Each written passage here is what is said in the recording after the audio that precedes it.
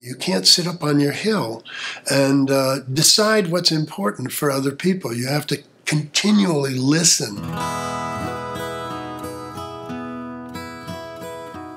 In the beginning, it was going to be just a community learning, you know, bulletin board.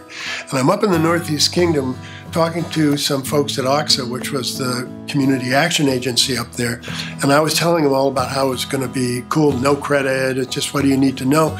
And this woman stood up and she said, You, with your college degree on the wall, are telling me I don't need one. Peter, get real. She was right. So by 75, we had rules and policies and practices and procedures, but we didn't own any property. We were still very much community based.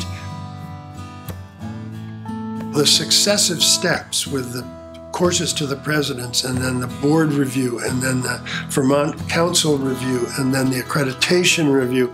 The successive steps always getting, forcing us positively to get clearer and clearer. It required us to get good at what, to decide what good meant, and to get good at what we were doing,